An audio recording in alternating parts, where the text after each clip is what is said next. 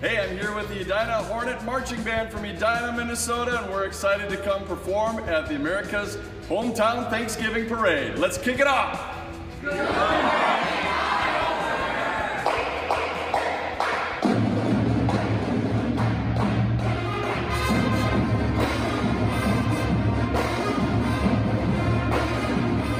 Gonna throw my hands up. we all know that song.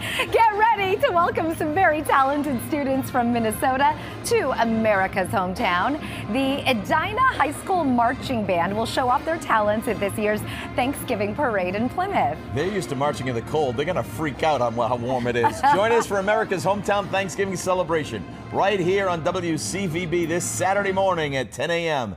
The Eye Opener team will be there. Ed and Maria, they're going to be leading the WCVB float with also some very special guests. This year, you can watch the whole event live on our very local app. And if you're going to the parade, we want to see your NewsCenter 5 signs.